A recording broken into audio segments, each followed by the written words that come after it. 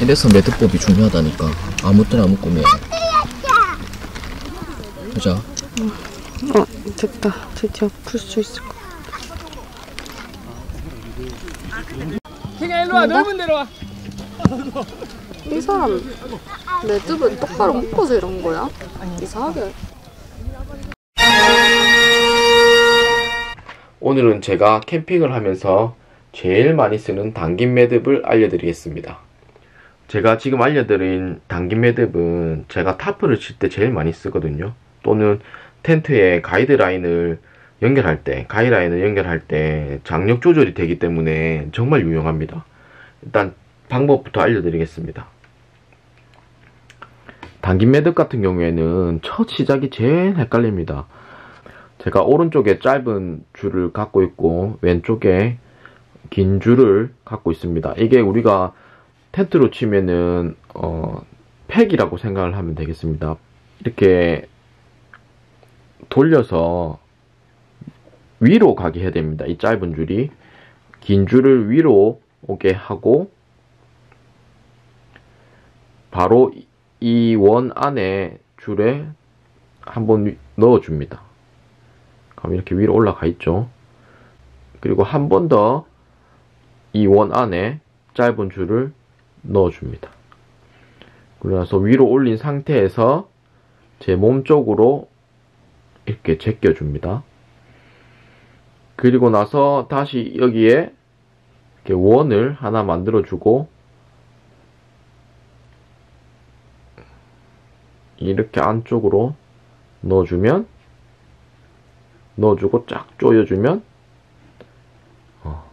끝났습니다. 자 이렇게 길이 조정은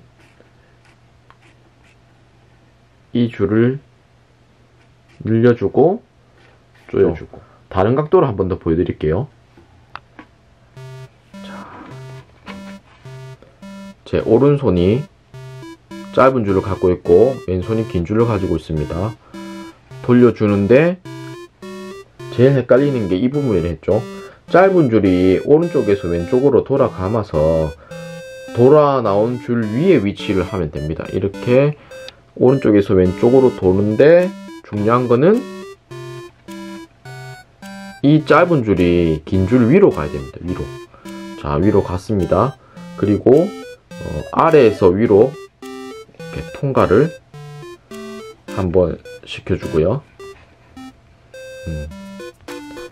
자, 그리고 한번더 이렇게 통과를 시켜줍니다.